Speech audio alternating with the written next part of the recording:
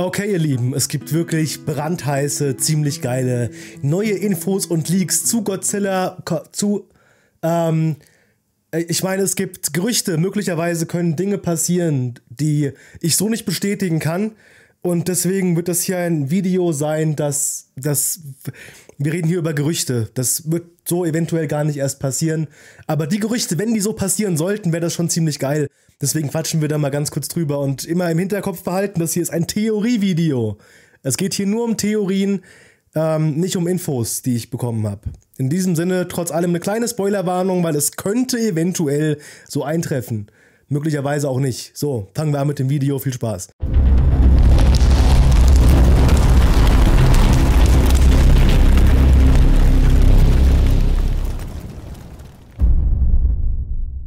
Okay, ihr Lieben, also wir müssen da jetzt einfach mal ganz kurz drüber quatschen, über diese Sachen, die möglicherweise in, naja, Betracht auf Godzilla Kong wirklich passieren könnten. Ich werde hier auf jeden Fall nochmal darauf hinweisen, das Ganze ist ein Theorievideo.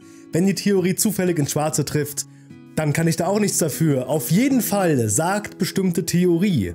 Zum einen, dass definitiv ein weiterer Kaiju im Film auftaucht, den wir so im Trailer noch gar nicht gesehen haben. Über den haben wir allerdings auch schon mal gesprochen gehabt, nämlich in einem anderen Video, wo wir uns mal die Spielzeuge zum Film Godzilla Kong angeschaut haben. Und zwar soll es laut dieser Theorie um das Wesen Mothra gehen. Das soll wohl nun tatsächlich im Film auftauchen und eine relativ wichtige Rolle spielen. Und auch hierbei bleibe ich bei meiner Theorie, dass wenn Mothra wirklich auftauchen sollte, dass ich dann sagen würde, okay, diese gesamte Godzilla Evolved Variante, die wird irgendwas mit Mothra zu tun haben. Ich gehe ganz stark davon aus, dass Godzilla nicht nur einmal, sondern zweimal gegen Shimo kämpfen könnte beim ersten Kampf allerdings eingefroren wird und danach von Mothra, naja, die Chance bekommt, eben in diese neue Godzilla Evolve Variante zu gelangen. Ebenfalls glaube ich, dass die Szene, die wir hier sehen, mit dem kleinen Mädchen, das wir ebenfalls aus Godzilla vs. Kong äh, kennen, dass äh, diese Szene eben, naja, auch etwas mit Mothra zu tun hat. Möglicherweise eine Erweckung,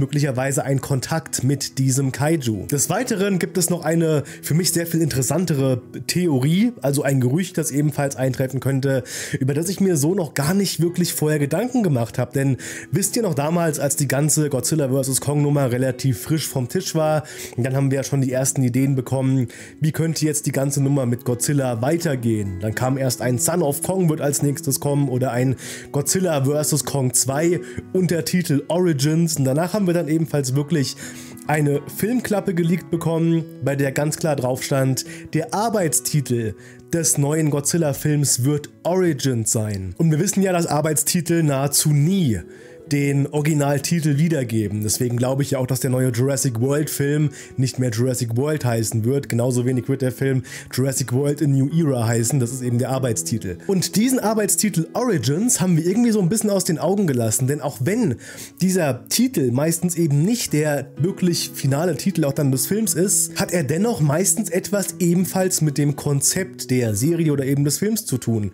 Als ganz kurzes Beispiel, die Apple TV Plus Godzilla Serie Monarch Monarch Legacy of Monsters hat den Arbeitstitel Hourglass, also Stundenglas oder sowas wie Zeituhr, beinhaltet. Und naja, kleiner Spoiler für die Serie. Es geht in der Serie tatsächlich zum Schluss relativ viel um Zeit und sogar ein bestimmtes Projekt in der Serie wird eben als Operation Hourglass betitelt und naja, das bezieht sich eben darauf, dass in dieser Axis Mundi Zwischenwelt die Zeit anders verläuft als eben an der Oberfläche und da hat man eben auch Bezug drauf genommen. Der angebliche Leak, also das Gerücht, das ist ein Gerücht, der das besagt, dass der Titel Origins sich darauf bezieht, dass der neue Godzilla Kong Film ab dem zweiten Drittel sich mit einer ganz scharfen Rückblende beschäftigen soll. Das heißt, wir werden hier noch einmal zurück zum Ursprung gelangen. Zum Ursprung wovon ist dabei noch nicht ganz klar. Ich schätze mal, irgendwie Shimo wird da ein bisschen mehr erklärt werden. Das könnte ich mir ganz gut vorstellen. Ebenfalls sollen wir aber auch Einblicke in den Krieg der Kaidus bekommen und eben in die gesamte Vorgeschichte, was eben damals passiert ist. Und ja, das haben wir ja mehr oder weniger auch in den Monsterverse-Filmen, die wir bis jetzt hatten, bereits erläutert bekommen. Ich meine, es war in Godzilla 2014 dass die Kaiju zuallererst auf der Oberfläche der Erde gelebt haben, als die eben noch sehr radioaktiv war. Und danach eben, als die Radioaktivität zu stark nachgelassen hat, sind vereinzelte Kaijus eben ins Innere der Erde geflüchtet und haben dann da eben, naja, eben eine neue Welt bevölkert. Und genau das soll jetzt hier mehr oder weniger in einer großen Rückblende mehr beleuchtet werden. Da das Ganze allerdings dann nicht als plumpes Intro gezeigt werden soll, als kurzer Flashback ganz am Anfang, gehe ich davon aus, dass diese ganze Nummer sehr viel mit der Story zu tun haben wird. Und deswegen ist eben meine Theorie, dass wir da die Backstory auch dann von Shimo erfahren und möglicherweise sogar Shimo und Ghidorah, dass das irgendwie noch bestätigt wird. Auf jeden Fall ja.